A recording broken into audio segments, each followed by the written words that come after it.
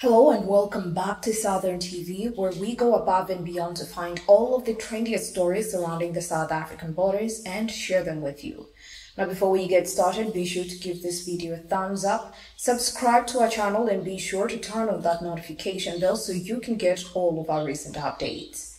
Without further ado, let's dig in. Public Enterprises Minister Pravin Gordhan has made a significant announcement indicating his retirement from politics following the upcoming elections, marking the end of an era in the South African governance. This decision coincides with the ANC convening a special National Executive Committee session to finalize its roster for candidates slated to serve in parliament and provincial legislatures.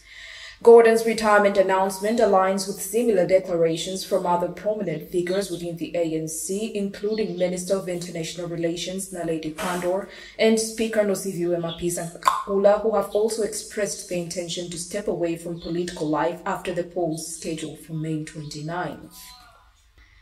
Reports from Business Day confirm Gordhan's retirement plans, reflecting his firm decision to disengage from active political participation. Notably, Gordhan declined a nomination to serve in the National Executive Committee during the ANC's last conference held in Nasrec in December 2022, signaling a gradual disengagement from political politics. Gordhan's political career spans over a decade, beginning in 2009 when he assumed the role of finance minister under the administration of then President Jacob Zuma. It was under the leadership of President Cyril Ramaphosa that Gordhan was reinstated, this time as the Minister of Public Enterprises, a position that he has held until his decision to retire. Despite his tenure being marked by significant achievements and challenges, Gordhan has faced recent scrutiny, particularly surrounding the sale of the South African Airways to the Takatso consortium. Allegations of corruption surfaced with former Director General Kgathatso Tlhakudi accusing Gordhan of involvement in dubious dealings.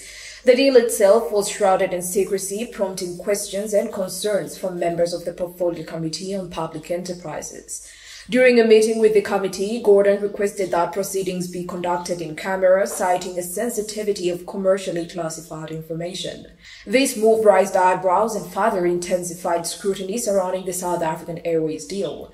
In response, the committee enlisted the expertise of Parliament's legal advisor to scrutinize the documents provided by Gordhan, underscoring the gravity of the situations and the need for transparency and accountability in public enterprises.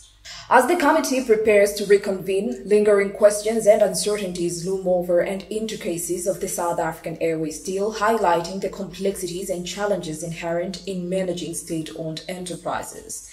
Gordhan's impending retirement adds another layer of complexity to the political landscape, signaling a transition period and potential shifts in government dynamics.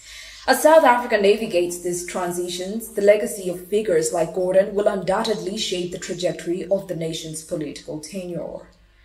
For this and much more from Southern TV, be sure to leave your comment about the matter in the comment section down below and stay tuned for more updates.